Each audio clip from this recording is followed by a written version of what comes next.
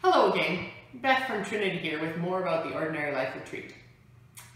As I was mapping out this retreat, one of the hardest tasks was actually picking which six topics to explore, because there are so many amazing possibilities.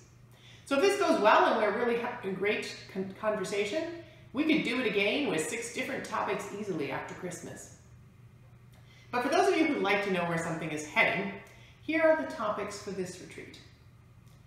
Week one will focus on the practice of gratitude. How do we give thanks always? And what difference does it make in our lives if we look at the world with grateful eyes? Week two invites us to reclaim some solitude and silence in our crazy busy, always on, always noisy world. It's been said that God's first language is silence, but when was the last time that you were in a silent environment, even for five minutes? And when was the last time you were fully alone, without your smartphone or TV or book or a person?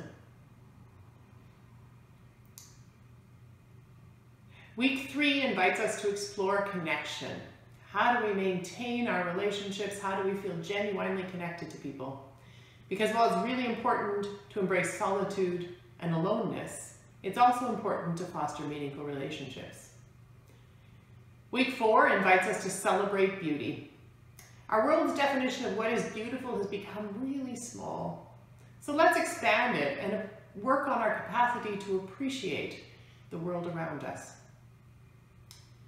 Week five offers us an opportunity to play with some creative prayer practices. Who said prayer always has to involve words?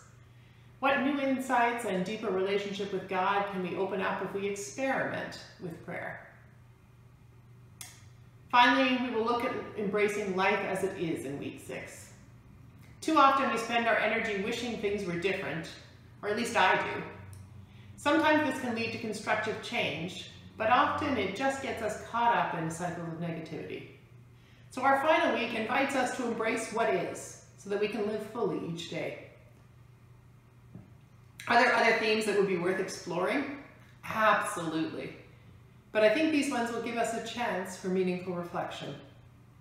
I hope you will join us on this adventure. If you haven't signed up already, ask to join the Ordinary Life Retreat group on Facebook or contact the church office to be signed up for the print version.